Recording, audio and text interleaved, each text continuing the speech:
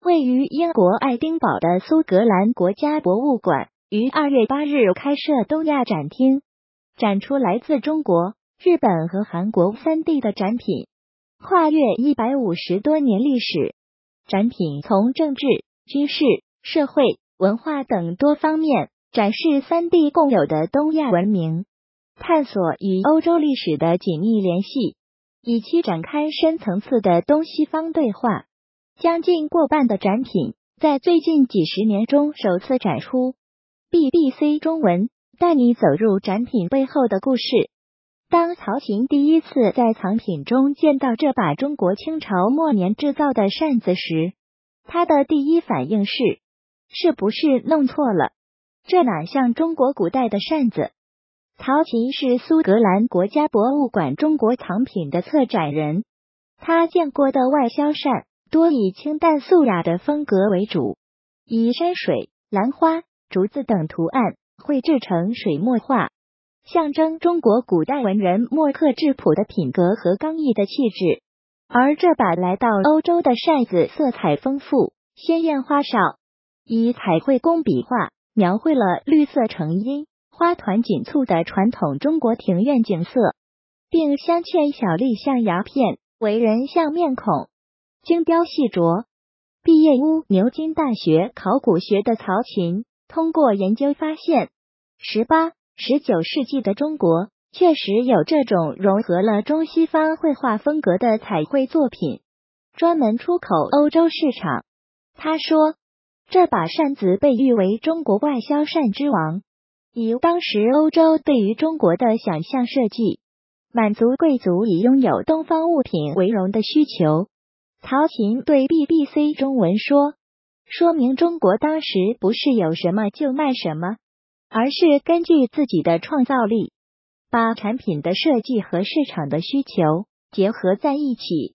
十五世纪末，葡萄牙人开辟新航线之后，中国海上对外贸易增长，尤其是在清朝时期，中国的瓷器广受欧洲欢迎。新开设的东亚展馆。”展出了一套印有苏格兰贵族族徽的茶具瓷器，同外销扇之王一样，这套瓷器并非印有中国山水图样，而是彩绘成欧洲佛斯林汉姆家族 （Sutherlingham of Pori） 的族徽和家训。该家族是当时苏格兰的贵族，拥有大片领地，地位显贵。其家族城堡遗址至今还留存在爱丁堡。佛斯林汉姆家族在十八世纪将家族的徽章图案送往中国景德镇窑洞订购高级瓷器。曹琴说：“这套私人定制的瓷器不适合日常使用，但适用于特殊场合，令贵族伺机向朋友们炫耀家族的地位和财富，也因此显示欧洲上层社会对中国瓷器的钟爱和欣赏。”除了这套茶具，东亚展厅还展示了苏格兰与英格兰在十八世纪期间经历皇位之争后，用于庆功而向中国定制的瓷碗，以及中国出口到中东、土耳其等地用于佛教寺院的装饰用品。根据当地特色而变化风格，曾在河南大学文物馆从事过十五年研究的历史学者白秦川。对 BBC 中文表示，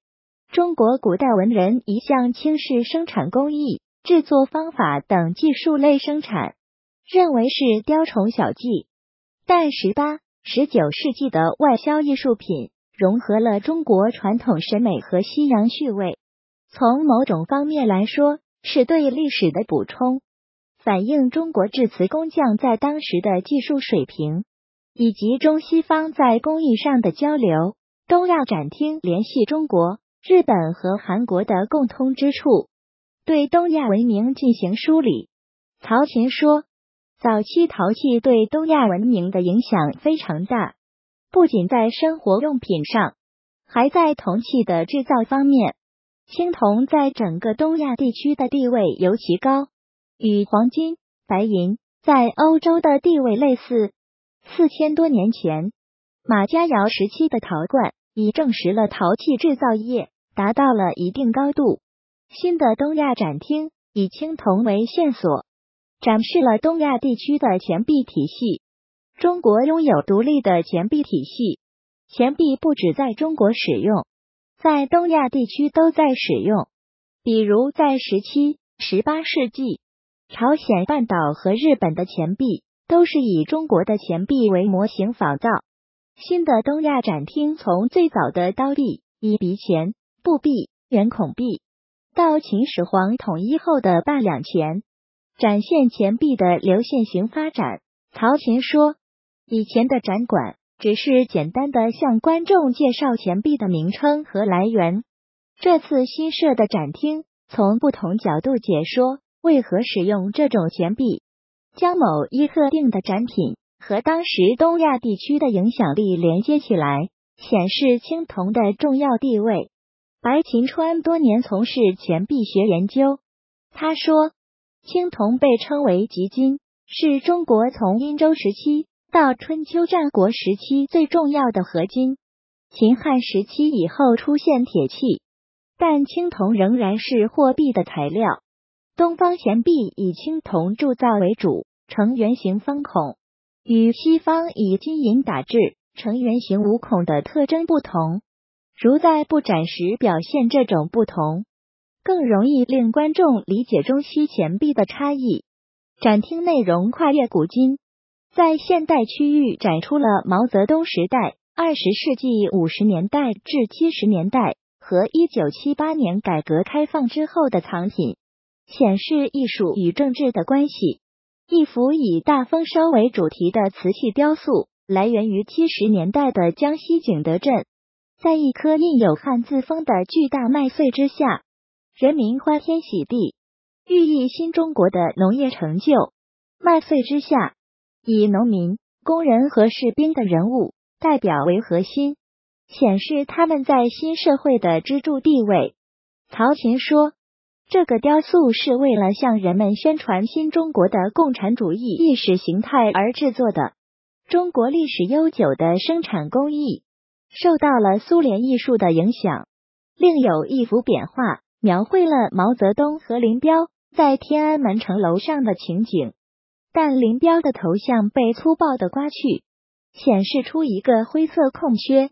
是文化大革命期间批林批孔带来的后果。这幅匾画在一九七八年扬州漆器厂制造，由私人收藏家所有。曹琴说：“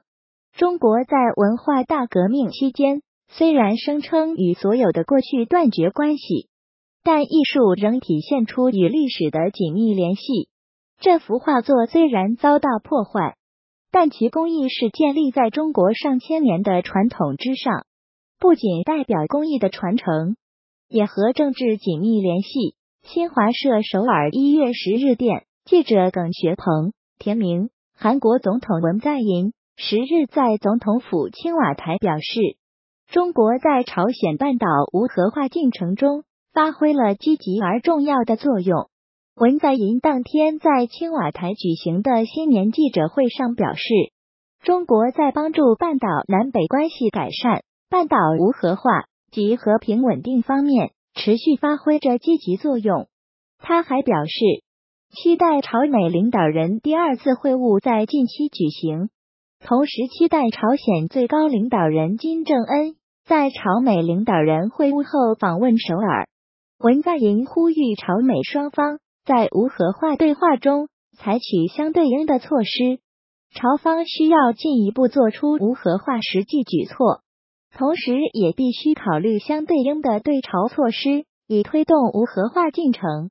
他认为，缺乏互信是朝美无核化对话目前面临的关键难题。就金正恩在新年讲话中提出有意在无任何前提条件或代价下重启开城工业园区和金刚山旅游等韩朝合作项目，文在寅表示欢迎。认为半岛南北合作项目将有利于韩朝双方。他同时表示，韩方将与包括美国在内的国际社会合作，推动解决国际社会对朝制裁等相关问题。文在寅还阐述了政府新一年的经济施政。他说，政府仍将坚持以增加国民收入为主导，推动经济增长，同时坚持创新增长和公正经济等既定方针。朝鲜半岛局势在二零一八年发生重要的积极变化，朝韩领导人先后三次举行会晤，半岛南北关系实现缓和。相关势头在今年年初呈现延续趋势。金正恩一日在新年贺词中。强调实现半岛完全无核化的坚定意志，并表示随时准备和美国总统特朗普再次会谈。特朗普近日表示，美朝正在就双方领导人第二次会晤地点进行协商，分管协调多国联盟打击极端主义组织伊斯兰国的美国总统特使布雷特·麦格克二十一日辞职。